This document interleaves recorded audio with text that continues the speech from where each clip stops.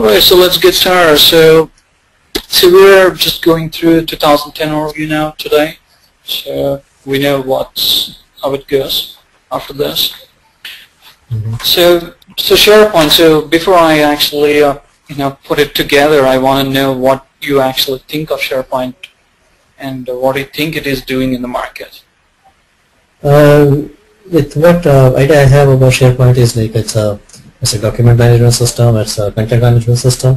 Mm-hmm. Um, basically, uh, it allows you to share uh, documents, and then it it has features like say uh, uh, meeting organizer and all this stuff, and um, it uh, it it has nothing to do with uh, security of those documents and uh, whom to give access to and whatnot. And uh, again, content management system allows you to create, I'm sure, of some in-house websites or uh, websites which expose to the outside world with ease. Right. So you got it pretty much there. So from an end user perspective and from an IT pro perspective. So so this is how uh, you know SharePoint evol- you know evaluated. So so it has been uh, it was there uh, since 2001, which was a pretty basic version of SharePoint, Uh-huh. and then it's just like uh, on top of um, .NET framework. You know, SharePoint is always on .NET framework. So without .NET, there is no SharePoint. Oh, But people have a misconception that, you know, if you have to be a SharePoint pro, you need to know .NET. But I would say not needed because I've trained many guys who doesn't know any programming basics. And uh, trained in SharePoint directly and yeah, they did uh, exercise uh, my assignments. Oh, okay. So right, so so it started with 2010, and they have created, uh, you know, so far 2003 and 2007, and uh, so they had, they kept adding the features on top of the actual 2001 version, and they called it they called it uh, Windows SharePoint Services uh, in 2003, which was actually a product I would call. If you compare Mhm. with 2001, it wasn't even a product. I mean, it wasn't even stable, and it, it didn't even grab the market it's pretty much basic functionality that they gave it, you know, through, so you go to a website, so it's not like an, a .NET website.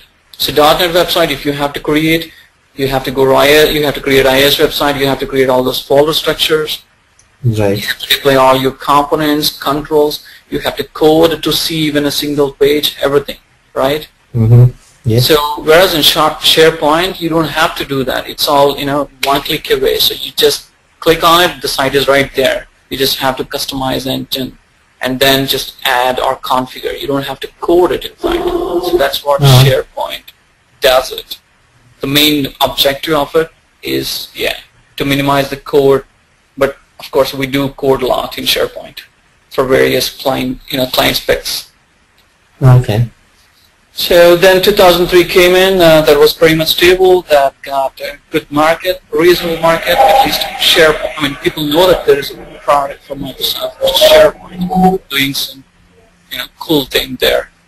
And then, um, and then 2003, after then 2007 came in, and it's again the same version, but they added a lot of integration features like search. I mean, it's not just only uh, a one-click away site creation wizard. Mhm. It's not only the, I mean, so they don't, they want the emphasis on more on the product than just saying it's just like a, a site creation wizard.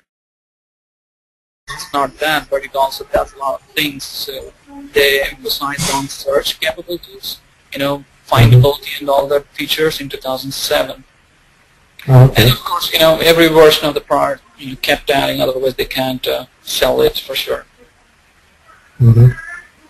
So I just talked very specific to 2010 instead of, you know, talking in detail uh, into each version of SharePoint, you know, the old versions. So we got uh, Okay. 2010 versions, you know, into two different licenses, Foundation and Server. Foundation was, was free, so you can just grab it and install it if you have uh, the system uh, that is that is fit for the product. So you can just install it and play around with it. And you can even code or whatever to deploy your own custom components. But it, what what is missed in Foundation, I mean what you will achieve or get it from server is uh, some of the enterprise features like uh, search and it I wouldn't say just search. Search has different features within it. That won't be there in Foundation but will be there in server. Oh, okay. And pretty much uh, uh, we do have some kind of insights features, Excel services, and their PerformancePoint and all that. So they made it as a different license and uh, added into the enterprise server license. Mm-hmm.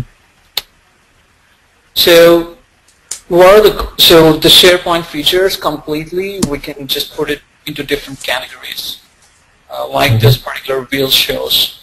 You know the features can be shown into the sites category, communities, content, search, insights, and composites. Mm-hmm. So let's talk about what let's talk about each category. So when we say sites, sites Mm-hmm. So that's pretty much SharePoint is famous for. Like, uh, so I want to set up a site. So I want, you know, my organization have a department. Uh, they want to set up a site. So what we're going to do in .NET is like, you know, like I ex- already explained, we start it as a project itself. Like, Yes. okay, we have to create an IIS website, set up all the permissions, set up all those pools accounts, and then whatnot, database, oh my god, that was really hard, I mean, horrible that in the IIS. Mm-hmm. But in SharePoint, it's, when you set up the SharePoint, it's already in there, so it's already configured. So you just have to go to the central admin and you know, just say, you know, choose the site template. So there are already predefined site templates, like project, team site, publishing portal. You, you just need to choose the template and then, yeah, name the site with your department name. That's it. The site is right there. Now it's ready to add the content and use it. That's it. Mm-hmm. And it's pretty much integrated with Office, uh, Office product because, you know, it's again by Microsoft. So they, they integrated all those Office uh, applications like uh, Word, Excel, PowerPoint, Visio and all that. They are Mhm. pretty much tightly integrated with uh, SharePoint. So you move here and there. You still have the data in metadata tagged and in Mm-hmm. So that's the sites category.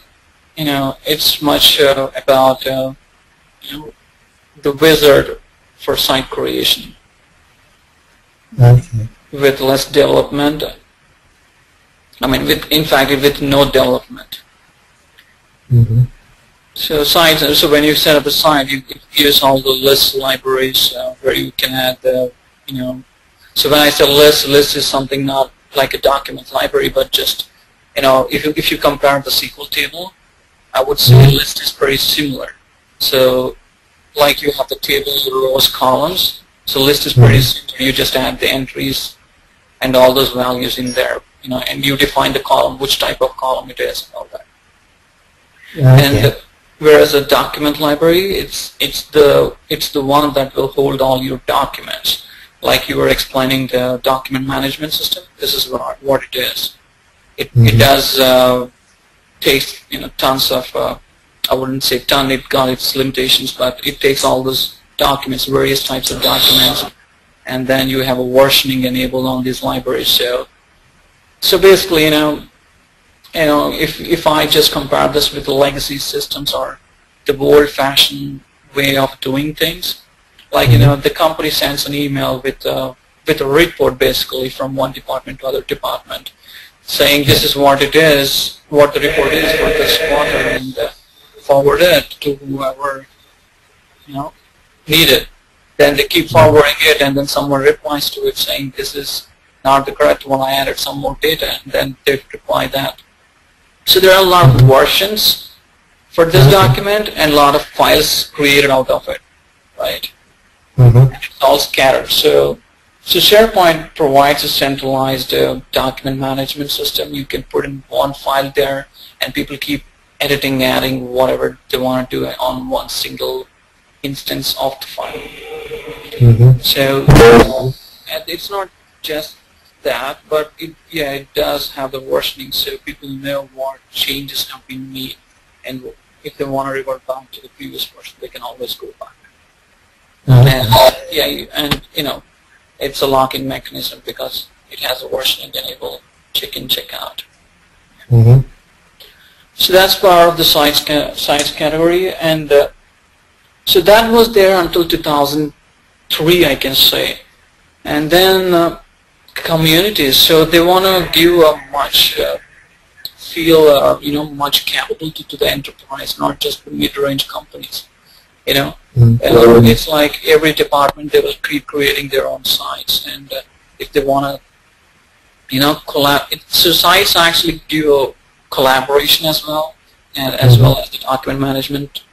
But what about if they have a lot of you know, fun groups or community groups that is not actually defined as a department, but in a more of a fun kind, uh, more of a you know blogging stuff. So they want to have that features part of the SharePoint product. So that is when they started creating some community-based site templates. It's Mhm. not a site, just a site template. I mean, of course, it's a site template, but it, it's quite different from other templates because of the features or the functionality that has been added in these templates.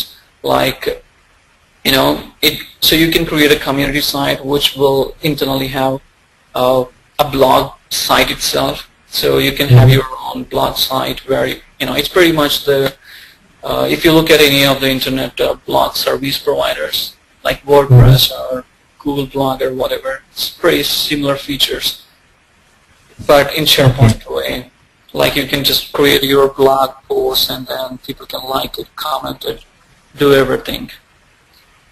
Mhm. And and yes, so so that that that brought uh, some additional stuff. Uh, if you compare with 2007 and 10, they have their own uh, blogs, community site, and also personalization. So when I say personalization, uh, so every user in uh, in the department or in a company, in an organization, they have their own. They can have their own my sites like Mhm. they have their own personal site. I mean, it's it's not just it's not exactly blog. Blog is something uh, public-facing site, but my site is something private site, I would say. So it's like uh, I would say comparatively with uh, maybe the recent one. You know, you go to Gmail and then it's integrated with your Google Drive. So it's very similar to that.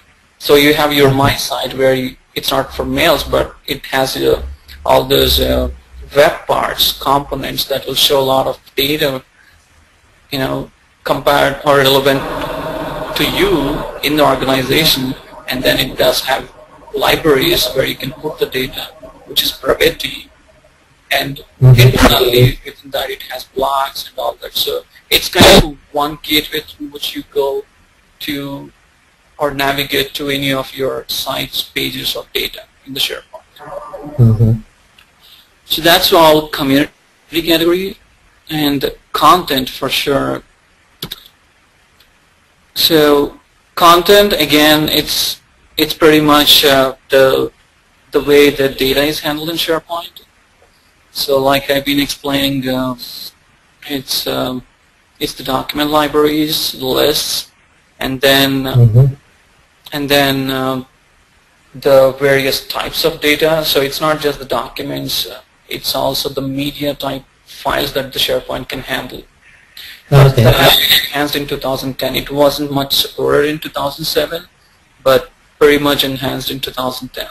Like, you know, I mean, if I can just upload a video or an audio file in a document library just as a file, but it, SharePoint doesn't really give uh, much capability or doesn't recognize the type of the file.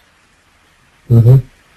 So 2010 has different types of libraries, you know, like image. I mean, images library has been always there, but there has been like, you know, video and audio support. Mhm. So it, it gives some kind of metadata, how, how much length of this video is, how much size it is, and what kind of resolution and all that. You know? Uh-huh. So it picks up the metadata based on the file. Mm-hmm. And so, so the content, how the content has been managed in SharePoint so far is through the content types. And Mhm. SharePoint 2010 has brought a good feature like Enterprise Content Type Hub. So it's like, you know, you can um, define the type of the data that will go into the SharePoint. So that Mhm. type of data is centralized. So you have some thousand sites, you don't have to define the type of this content, which is called content Mhm. type, everywhere in every site, but you can have it in one server and published or consumed by all other sites. Mm-hmm. So that's the content category. I mean how I mean how SharePoint is handling it. And coming now is the source, the big thing. So now SharePoint has given a lot of capabilities to you know to intake the data for a data Mhm. intake. And there's now like you know tons of data like 100 GB, not 100 GB, but 10 GB for each site, and then you have some thousand sites. So Mhm. it's going to be a pretty huge data server piled up there in SharePoint now. The question comes as, how do I find my data now on, on top of all this data piled up? Mm-hmm. So that's when the search capability comes into the picture. So now this is also pretty much centralized. So so you you you can find the data whatever is going into any of your thousand sites. You can just use your search box, search it, and you will see it in the results. So how it has given the filters, you know, it's about the findability of the content in on the SharePoint server. So that's Okay. another, you know, refinement panel. It's pretty much similar to the Google search with refinement panel. I mean, you know, filter Mhm. options. But, yeah. So that's about the search and insights. So every any organization when they are you know when they are like enterprise organizations, they really want to know statistics, like how my server is being used, how the users are coming into my site, and Mhm. various analytics, various usage reports. They want to know. That's that's know, again SharePoint provides capabilities uh, like Access services or web analytics is pretty much similar to Google Analytics, Mm-hmm. and then Power Pivot, Power Pivot reports and all that. And yeah, you can integrate all those SSRS with SharePoint to to get the reports based on.